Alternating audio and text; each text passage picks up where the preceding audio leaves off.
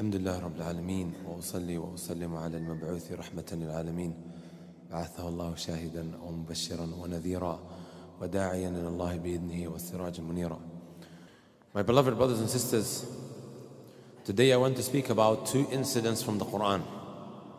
We're in the month of Ramadan, the month of Quran, right? And it's only right that we try to take our inspiration from the book of Allah subhanahu wa ta'ala. Every single one of us here, my brothers and my sisters, every single one of us here wants a better life. Am I wrong to say that? There is that which we try to acquire in this world, sometimes through means that are displeasing to Allah subhanahu wa ta'ala. At times we look at the Sharia so rough and tough. Why is it preventing me now to enjoy myself? It doesn't make sense. I always say to our brothers and our sisters, why is it that we fail to accept that our minds are limited? We have accepted that what we can see is very limited. Can anyone here see that which is happening in Anfield? They were actually partly to blame for why we were late. There's a Liverpool game today, right? Can anyone see that which is happening in Anfield? No, you can't. Can anyone see that which is happening in Goodison Park? I know, guys. I'm not backwards. Nobody can see, nobody can hear that which is happening what? Outside. Nor can you smell that which is happening outside. If you accepted that these body parts, these senses of yours are all limited, why is it that we fail to accept that our intellects and minds are limited as well in what we can comprehend? Everything, brothers and sisters, happens for a reason. And whatever Allah subhanahu wa ta'ala and His Messenger sallallahu have told us, it is in our best interest. Whether you see the wisdom in it or not. Islam is preventing me from enjoying myself. I really want to have a relationship with her. Sah? My DMs are full, brothers and sisters. You know what it's full of? Young girls and young men, all heartbroken. I'm spiritually dead and empty, right? Just about every lecture that I've been doing, we've only done a couple because my main priority in the month of Ramadan is to lead Taraweeh and Tahajjud. Everything else is secondary. A couple of lectures that we've done. Every lecture, someone came up to me and said, Well, I'm in a haram relationship. And you can see the way he looks so depressed and so down. I don't feel good. I keep telling her in the month of Ramadan to go to her father and let's just get married. And she keeps dragging her feet. The people are in a very, very bad state. Is it surprising? Of course not. To me, as someone who receives these messages and has these interactions, this is not surprising. Because I know any maslak, any path that you take, other than what Allah subhanahu wa ta'ala has instructed you with, you are bound to end up like that. Depressed, sad, right? You're gonna run yourself into problems after problems after problems. Anyways, my brothers and my sisters, going back to the point that I was making, every commandment from the Quran and every prohibition, it is in your best interest, whether you see the positivity or the goodness in it or not. That brings me to these two stories that I want to mention, inshallah ta'ala. There's a lot of young people here. Have you guys heard of Surah Al Kahf? Chapter of Kahf. What does Kahf mean? Huh? The cave. Sometimes those who slept in the cave are referred to as the seven sleepers. Let me tell you, brothers and sisters, a little bit about these young men. Allah Azza wa Jalla tells us, إِنَّهُمْ فِتْيَةٌ آمَنُوا They were a group of young men who believed. And here Allah subhanahu wa ta'ala is giving us this information about them, this description of them being young men as the way to point out what wonderful individuals they were. At a young age, they believed and they done the right thing. Normally, a lot of young people, let's be honest with ourselves, right? Are they individuals who stand up for their religion? They call to Allah as if they're doing da'wah, they're memorizing the Quran. You will find pockets of young men doing so. But when we look at it, right, from the perspective of a ratio of how many of them are actually doing so, you will see those that are not practicing, especially in today's day and age, in this very sexualized, filthy society. Right? It's far less. Am I correct to say so, my brothers and my sisters? Brothers are nodding their heads. This is the reality of the matter. So Allah subhanahu wa ta'ala doesn't just mention things out of abath. Right? For no reason. No, innahum fityatun. He could have mentioned rijal, men. As he mentioned in Surah what? An-Nur. When Allah subhanahu wa ta'ala referred to those who go out to pray. في بيوت أذن الله أن ترفع ويذكر فيها اسمه يسبح له فيها بالغدو والآصال Allah then said رجال men and there's a difference between men and male let's not go into that discussion huh? alpha male and none I'm not talking about that men and boys men and male in the Quran these terms are mentioned here Allah Azza wa is sending us that from the trace of men is that they go and pray in the masjid. To be praying in your house is actually a feminine trait. Because that's what women do. Unless of course you have a udhr shar'i, you're far away from the masjid, you can't get there and so on and so forth. Hayya Allah Ustad Badr. Allah yahfadak. Are you brothers and sisters with me? So Rijal was mentioned. But in Surah Al-Kahf, Allah Azza wa mentions fityatun, a group of young men who believed in Allah subhanahu wa ta'ala. They came with faith. They came with iman. They came with tawheed, as we will touch on in a moment, inshallah ta'ala. إنهم فتية آمنوا بربهم وزدناهم هدى. They believed in their Lord and Allah Azza wa increased them in guidance. Every single one of us here, my brothers and my sisters, wants to better their lives deep in your hearts. You know if you're doing the wrong thing at this moment in time, that you can't continue like this forever. And the month of Ramadan, where the scene has been set, the doors of Jannah have been swung open and the doors of hellfire have been slammed shut. We're all crying out for guidance. Look at this verse. آمنوا بربهم وزدناهم هدى and Allah Azza wa increased them in guidance you need to show Allah that you really badly want it. My DMs are also full you know with what brothers and sisters? People who are saying I feel like I've wasted my Ramadan. I feel like I haven't met my objectives and my goals. This is what some are saying. Some sisters are saying, I'm on my menses, I can't benefit from the last 10. No, my brothers and my sisters. Even, let's just say, for argument's sake, you wasted all of these nights. You can still walk away with the jackpot of reward. Right? It's not how the race started, it's how the race finishes. You show Allah Azza wa Jal how badly you wanted, وَزِدْنَاهُمْ هُدَى Allah will increase you in guidance. Ibn al-Jawzi says, إن الخيل إذا شارفت نهاية المضمار بذلت قصارى جهدها لتفوز بالسباق.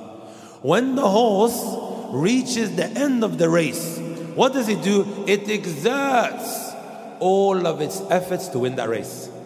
Look what he then says, فلا تكن الخيل أفطن منك. Don't let the horse be more smarter and more intelligent than you. فإنك إذا لم تحسن الاستقبال لعلك تحسن الوداع. If you didn't do well, welcoming the month of Ramadan, perhaps you'll do better bidding it farewell. Are you brothers and sisters with me? وزدناهم هدى. Allah Azza wa Jal will increase you in guidance. And to quickly mention, maybe it's something you guys can relate to. You know, a couple of years ago, on the khutbah or in the khutbah on the pulpit, I mentioned a viral video of those who were running on the racing track. Some of you guys may have seen it, was on BBC Sports. Guys, Anfield fans, right? You may know, you may not know, Allahu Alam. But in Liverpool, I heard they're crazy when it comes to football. So on the racing track, my brothers, it was on BBC Sport. They're running, running, running. There's one that is winning, and the other one is just a little bit behind him. As they reach the finishing line, the one who was in second place, what did he do? He dived. He dived on the racing track. Who dives on a racing track? Are we in a swimming pool? He decided to dive. And guess what? The one who was behind, he ended up winning because he dived. He exerted whatever efforts he has in order to win the race. Right? He really badly wanted it and he won. And likewise, my brothers and my sisters, we really badly want something. إن يعلم الله في قلوبكم خيرا يؤتكم خيرا. Allah says, if Allah, He sees that goodness in your heart, He'll give it to you. Right. So going back to Surah Al-Kahf, seven sleepers or these young men who believed in Allah Azza wa Allah Azza wa increased them in guidance. These young men, some of the Mufassirin, they mention that they came from very wealthy families. They had a lot of money. The upper class of society they were. Annually, they would have a festival where they would come together and start invoking their idols. Right? They would begin to what? Invoke their idols. They would commit a shirk, associating partners of Allah Azza wa The worst sin that you can fall into, my brothers and sisters, is what? A shirk, ahsantum. There's nothing more greater than it. If you die upon shirk, there's no way you're coming out of the hellfire. But anything other than that, that is less than shirk, if one died upon it and he had tawheed, he had monotheism, there is a chance that Allah may forgive him. Allah may choose to punish him, and He may choose to just completely forgive him. And if Allah decided to throw him into the hellfire, sooner or later he'll be taken out. This is the virtue what? of having faith, iman, your tawheed, your monotheism. Are you brothers with me? So annually they would get together and they would celebrate alongside these idols calling on to them and so on and so forth. ماذا حصل بعد ذلك? These young men, if we just go off with the number seven, right? If we just go off of that, one by one, they left this temple that they were in, or this festival that they attended, and they walked outside. One leaves, the other leaves, the third, and so on and so forth. As they are standing outside, they began to get very paranoid. Why is he outside? Why is the other one outside? Is he an undercover individual who's here now to collect information on me? Perhaps was running through their mind. He's looking at him. One of them was brave enough now to approach the other. And they began to speak and found out that they are all on the same page. They all left that festival because of the discomfort they felt around these idols that they used to invoke besides Allah. Are you brothers with me? So then it began to spread amongst the people, amongst the community, that these young men have now gone against the religion of their forefathers. It eventually reached the king in their time, who the Mufassirun, the scholars of Tafsir mention, was a tyrannical, barbaric, bloodthirsty individual. So he called them into his office. Some even mention that his name was Decius. Allahu A'lam. what his name actually was. Right? What we've not been told in the Quran, we don't really need to dig deep to find out these intricacies. Long story cut short, my brothers and my sisters, they were called by this tyrannical, barbaric, bloodthirsty ruler in their time, and he began to question them. And they stood up to whatever he was saying. And Allah tells us, إِذْ قَامُوا فَقَالُوا رَبُّنَا رَبُّ السَّمَاوَاتِ وَالْأَرْضِ They stood up to him saying, Allah subhanahu wa ta'ala, our Lord, the Lord of the heavens and the earth, لَن نَدْعُوَ مِن دُونِهِ إِلَهًا We will not invoke, call on to other than Allah Azza wa Jal. When we make dua, it will be directly to Allah. Isn't this what the Messenger taught Ibn Abbas, فَإِذَا سَأَلْتَ فَاسْأَلِ اللَّهِ when you ask, ask Allah Azza wa Jal. لَقَدْ قُلْنَا إِذًا شَطَطًا If that is the case, or if we were to actually now engage in this act of shirk, we would have indeed fallen into something that is extremely grave. So, just to recap, you have a group of young men. They embrace faith. They detach themselves from the haram that is taking place. In the story, it talks about shirk, right? we can perhaps draw a comparison to our society. You have filth in every single direction. You go to these universities, you know what I call it? A breeding ground for kufr, shirk, feminism, liberalism, secularism, and of course, you have the rainbow team. Right? The world has become an extremely colorful place. Everything is inviting us filth and evil. Hate come, do haram. It's so easy to fall into it. Am I wrong to say that, guys? Am I speaking about a different galaxy, a different planet? I'm speaking about Liverpool and others. It's a breeding ground for all of these things. These young men, in the midst of the worst possible sin, what do they do? They detach themselves. And not only that, they began to defend their religion, stand up to the sole purpose of what they were created for. Because your natural disposition, your fitrah, doesn't accept what they are doing. And then it doesn't stop there. In front of the king, they stuck to their beliefs and they were steadfast. So after the back and forth that took place, he gave them an ultimatum to renegade, to leave their religion. Right? Sometimes we may find ourselves in these kind of situations where we are bombarded with information. It may not always be by force, but it is done through the different means and avenues that have been created by the devil through the shayateen al-ins in order to lead you astray. Right? A lot of the time, my brothers and my sisters, the shaitan is not going to tell you, look, I'm the devil. This is haram, go and do it. وَقَاسَمَهُمَا إِنِّي لَكُمَا لَمِنَ النَّاصِحِينَ He has a lot of tricks and traps under his sleeve, like what he done to our father Adam. He swore by Allah, I am indeed a sincere advisor. Inni, right? Ta'keed. And then the lam that is being used here. لمن الناصح sincere advisor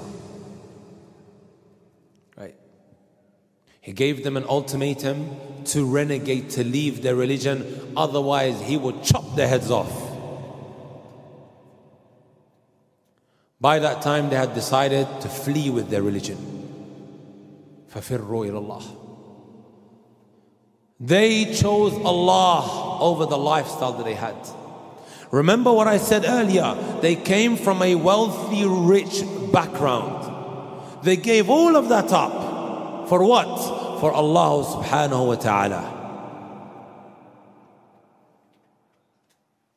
Does the story stop there? La. When you leave something for Allah's cause, does Allah abandon you, brothers and sisters? Abadan. وإذ اعتزلتموهم وما يعبدون إلا الله ها فأووا إلى الكهف ينشر لكم من رحمته ويهيئ لكم من أمركم مرفقا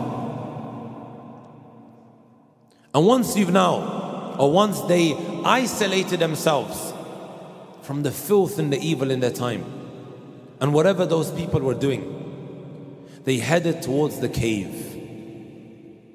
What did Allah Azza do? He showered them with His mercy. And Allah subhanahu wa ta'ala took control of their affairs. Allah Azza wa took it into His own hands. Right. They slept and they didn't wake up except hundreds of years later. They wake up. We're hungry. Someone go and grab us some food and be careful that you're not caught. Not realizing that hundreds of years have gone past. Right? These seven sleepers, my brothers and my sisters, they became a story that would be related to one another. You know how you have bedtime stories?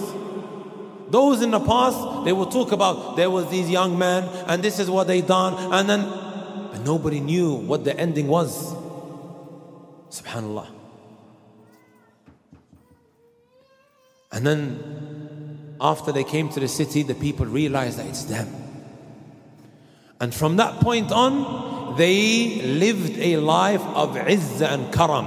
Mu'azzazun, mukarramun.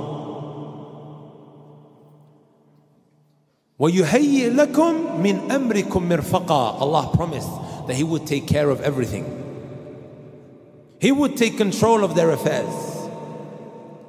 All of this is after what? They done the right thing. Right? That's what we know about these young men who ran away with their religion. And let me just point out something, right? A disclaimer. Just in case someone misunderstands what I'm saying. Am I telling you to run away from your families? Huh? I don't want your dads and your mums to come after me tonight while I'm leading Taraweeh. I'm never instructed that and I never encouraged that. We're talking about doing the right thing. Allah Azza took care of everything. So my brothers and my sisters, I don't know which haram you're involved in. It could be a haram job. It could be a haram relationship. And you're in between two minds. I don't know. I'm going to lose out on a lot. وَيُهَيِّئْ لَكُم مِّنْ أَمْرِكُم مِرْفَقًا Right. Allah will take care of everything. I also, my brothers and my sisters, want to mention quickly the story of Ibrahim alayhi salatu wasalam and then draw comparisons between the two. I mentioned Surah Al-Kahf. What is the chapter before that? Surah Maryam. Allah subhanahu wa ta'ala places chapters right next to one another. Laysa an abath. It's not just because Allah feels like, no, not like that. There's hikmah behind it. There's wisdom behind why Allah puts every verse where He puts it and the chapters before the others. There's even a science that is studied, right? Tanasub al ayati was suwar. Even Jalaluddin al Suyuti has got a kitab on that. I'm not going to be long, my brothers and my sisters. I know you guys want to go watch the. Is there now? What time is the game? We got time. We got time, guys. Ibrahim alayhi wasalam. When Allah subhanahu wa ta'ala talks to us about his relationship with his father, was he old or was he young? Huh? Was he old or was he young? Because his father was extremely, extremely unhappy and angry with him. Why though? Because he chose a religion other than the religion that the father was upon. Right? And Ibrahim والسلام, kept on advising his father, Ya abati, Ya abati, Ya abati, Ya abati. How many times is that? Four times. It's mentioned in Surah Maryam. Look at how he's speaking to his father, even though his father waqi'un. he is immersed in the worst possible sin. Shirk billah azza Idol worship. Right. Imagine that. Today, what tends to happen is we start practicing a little bit or we learn a couple of things here and there. From the masjid, we come back home and we want to what? Huh? Change everybody's lives in 24 hours. The Eiffel Tower wasn't built in 24 hours, my brothers and my sisters. I always tell the brothers and sisters, the hardest type of da'wah is the da'wah to your family. It's extremely hard. Even the Messenger of struggled. Didn't he? Calling his uncle to Islam all the way up until his deathbed. And even then he didn't accept. Nuh alayhi salatu wasalam. يا بني اركم معنا ولا تكن مع الكافر. Get on the ship. Don't be from amongst disbelievers. Didn't. Lot alayhi salatu wasalam, he had a wife that stabbed him in the back. She went with the fruity guys. I have to be a bit careful in it with the terms that I use. Are you brothers and sisters with me? So Ibrahim alayhi salatu was in a very, very gentle, soft manner. Ya abati, ya abati, ya abati. He was thrown into the fire. Right? قلنا يا نار كوني بردا سلاما على إبراهيم But it didn't burn him. My brothers and my sisters, to cut this story short, his father threatened him. If you don't stop, لأرجمنك I'm going to stone you. Ibrahim alayhi made his mind up that it's time to leave. Allah Azza wa tells us, and this is what I really want you guys to take home. فلما اعتزلهم وما يعبدون من دون الله وهبنا له إسحاق ويعقوب كلا جعلنا نبيا when he now detached himself from that haram and that shirk that they were engaging in of invoking other than Allah Azza wa Did Allah abandon him? He just gave up his father who is so dear to his heart? Who's more closer to you? Your father or your girlfriend that you're doing haram with? He gave up his father. Right? The lines were drawn, brothers and sisters, the sides were chosen. My father is going to stone me if I continue holding on to my religion. It's time to leave.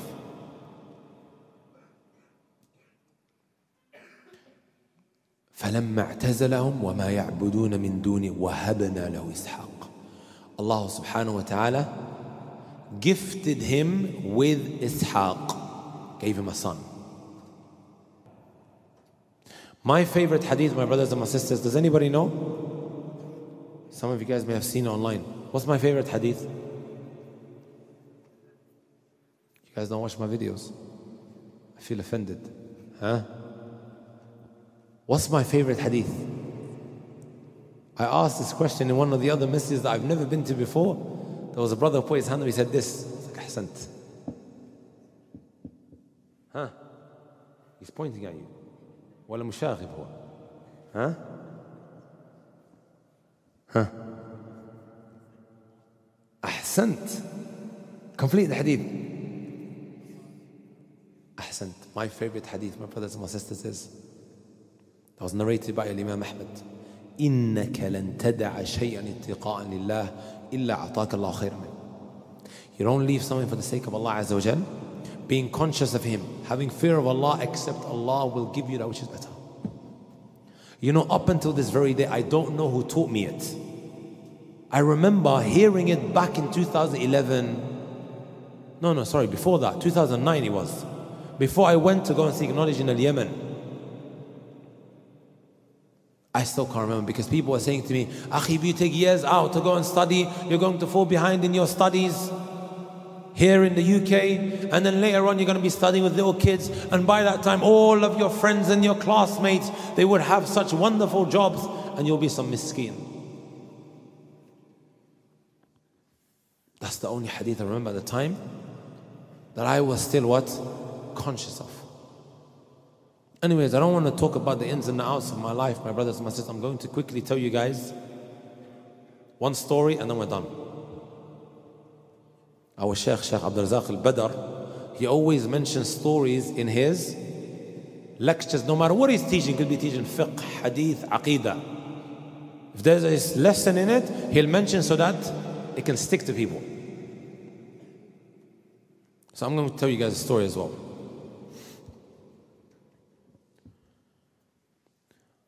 I had a neighbor. His name was Sohel. I met him, I believe it was 2014. Right?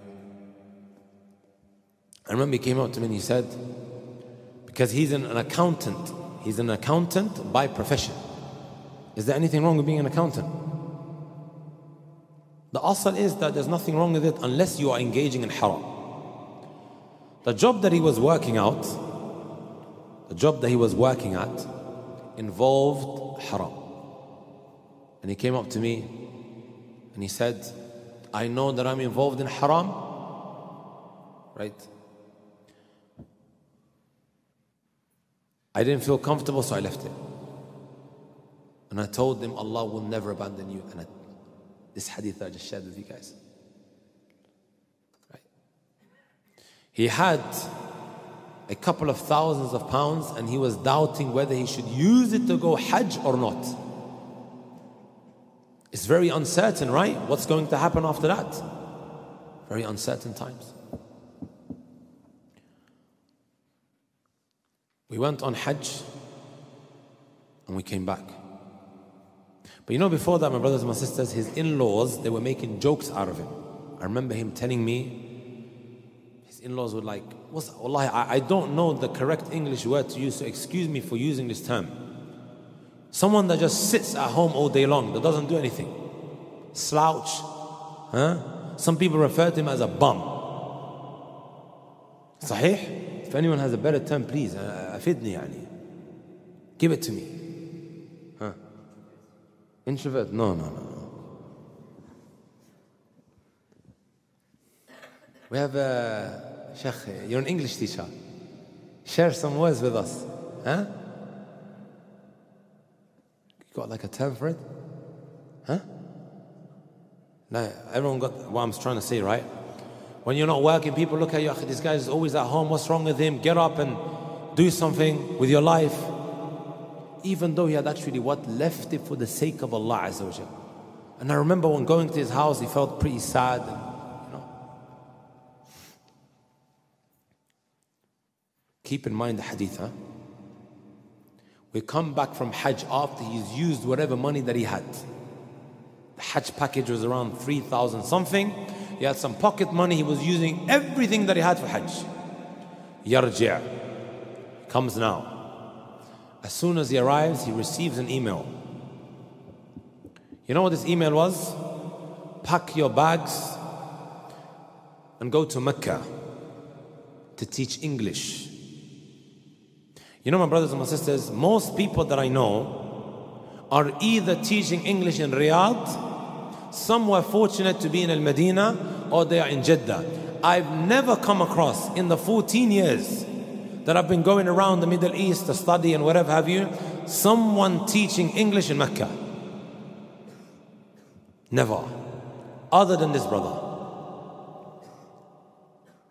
And you know what I put it down to?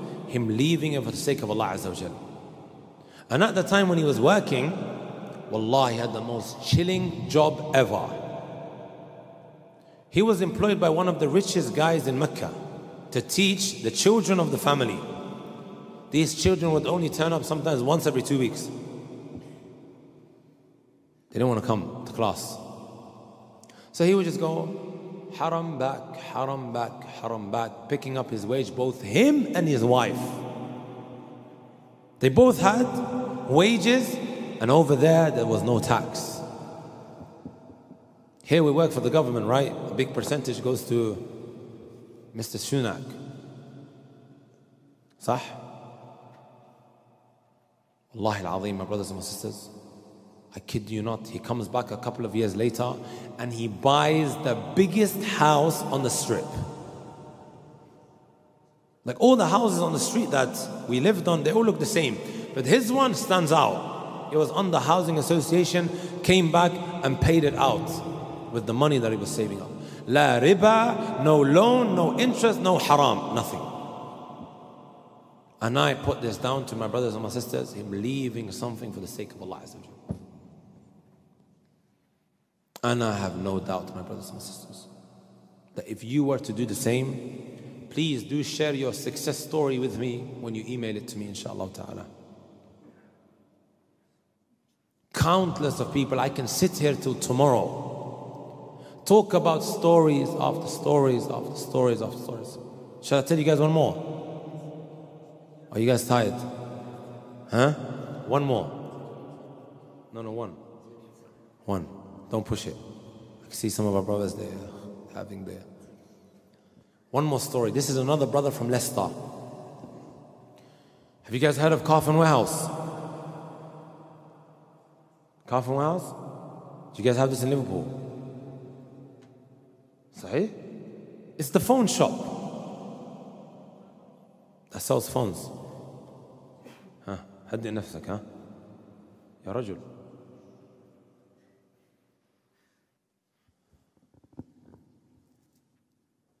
Carphone Warehouse لا أحد يلتفت. وإلا بأحرجك أمام الناس كلهم. مستعد؟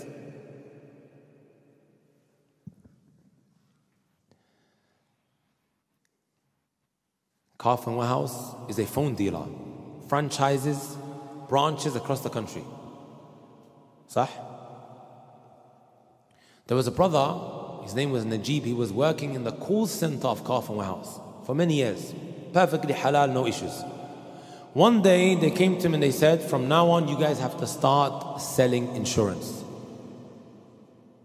The brother came up to me, and of course, I told him the Islamic ruling, but I never pushed him to do anything. And I told him the hadith as well.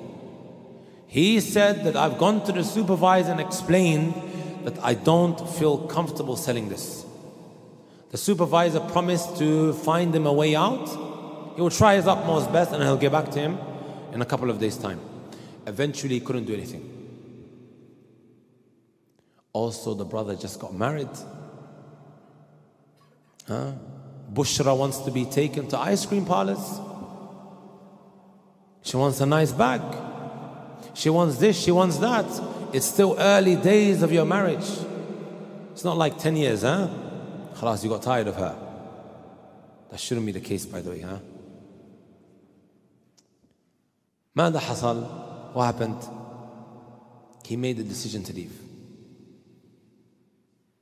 right after hearing the hadith he made the decision to leave wallahi I would see the brother at door time making one of those sincere du'as him sitting in the masjid we were literally neighbors praying in the same masjid at door time and then I would speak to him after the salat, ask him, how are things going? ماذا حصل? He said, I'm getting interviews, but I still haven't found the right one. Bear in mind also, every morning he would travel for half an hour plus and half an hour back. It adds up, brothers and sisters. You know, the petrol cost, it eventually adds up. You guys with me? It eventually adds up. And he was only on something like 18,000 pounds a year. Huh? After some time, brothers and sisters, Allah Azza wa blessed him with a job 12 minutes from his house, British Gas. Not only is he now saving more money, right, monthly because of the petrol cost, but before it was 18,000, right? Now it was something like 22, 23,000 that he was making throughout the year. إنك لن تدع شيئا اتقاء لله إلا أعطاك الله خير You don't leave something for the sake of Allah except Allah will always give it out which is better. Closing words, my brothers and my sisters. I'm going to quickly mention how can we increase ourselves in doing the right thing. Brothers and sisters, would you guys agree that we respect people in society because of what we know about them? Sah? There are certain people that we look up to, that we respect, that we hold in high regard. Why? Because of what we know about them. Sah? I'm sure you brothers have role models. These YouTubers, huh? This guy is successful, he's got all of this money, he's got a lot of views, a lot of subscribers. We look at him differently to everyone else because of what we know about them, sah? Isn't it so? I'm sure the sisters, they have people as well. Why is it when these people say something, we listen? But when Allah subhanahu wa ta'ala says something, it falls on deaf ears? Or it's just like some random individual saying something? I'm going to tell you guys, because we don't know anything about Allah.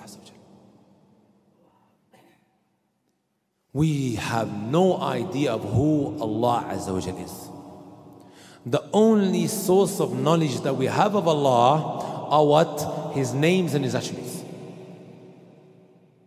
Go through His names. Who from amongst us has gone through the names of Allah? As-Sami' Al-Rahman Al-Basir Al-Latif. But if I asked you about the Liverpool X1 first team, you can tell me all of them and the one that's on the bench and injured as well. Sah? Some of you guys know who's playing tonight, huh? I'm wrong to say that? You're laughing. Sahih? Most of your friends, they know, right? And if we see them on the road, Steven Gerrard, huh? He's in Saudi now, right? Some of these uh, Liverpool players, we go crazy because of achievements and whatever they've accomplished. But when it comes to Allah, brothers and sisters, it falls on their face.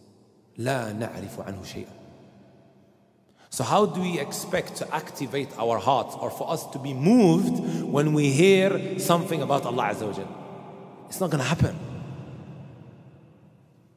من أحب لقاء الله أحب الله لقاءه. Whoever loves to meet Allah, Allah loves to meet him. And whoever doesn't love to meet, Allah doesn't want to meet him. How can we increase, right, that desire of wanting to meet Allah Azza wa and to get activated upon hearing His commandments. Learn about who Allah Azza wa is. When you internalize that Allah is a Sami' He's Al Basir, Al Raqib, He can see every little thing that you're doing, every step that you take, every move that you make. You know, once upon a time, if we wanted to access haram, we had those big computers, right? You know, the Dell big computers with the big backs, the keyboard. And if you wanted to engage with the opposite gender, you have the webcam that you have to use. Some of you guys are probably too young to know. You don't know, right? MSN and MySpace. No, it's fine. Don't worry. And you're watching the door so that you don't get caught. You hear, huh? A little shh. You want to flip the keyboard. Today, under the blanket, with these devices, accessing haram has become so, so easy. Fingertip away. Right? It's times like that when it comes in extremely handy. Perhaps now it's falling into place the importance of learning your aqidah and how it's in connection with the sins that you fall into. And these names of Allah, my brother, is the only source of knowledge that we have about who Allah Azza wa is. Sah. Right. I'll give you guys an example that Ibn Rajab mentions. A man, a Bedouin man, ran into a woman in the middle of the desert, nobody was there. And he began to what? Seduce her. Somalis say, Shukansa. Huh? And she started getting very scared.